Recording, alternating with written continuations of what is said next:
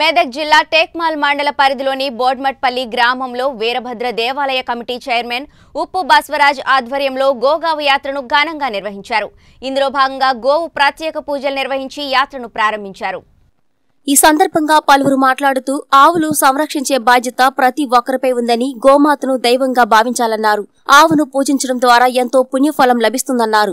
గత సంవత్సరం అక్టోబర్ మాసంలో యాత్ర ద్వారా కొన్ని ఆవులను ఇంకో సంరక్షణ కేంద్రానికి తరలించడం జరిగిందని ఈ సంవత్సరం వేలుపుగొండ గ్రామంలో ఉన్న గో సంరక్షణ కేంద్రానికి తరలిస్తామన్నారు. ఈ కార్యక్రమంలో ఆలయ కమిటీ చైర్మన్ ఉప్పు బస్వరాజ్ గ్రామ సర్పంచ్ కళాలి స్వరూప దశరథ్ గౌడ్ ఉప సర్పంచ్ శంకరమ్మ వార్డు మెంబర్లు యువకులు గడ్డం పండరి కాసాల కృష్ణయ్య ఆనంద్ యాదయ్య నాగప్ప గంగారం బేరప్ప చెన్నయ్య ఈశ్వరప్ప గంగారాం గ్రామ ప్రజలు పిల్లలు భక్తి శ్రద్ధలతో పాల్గొన్నారు.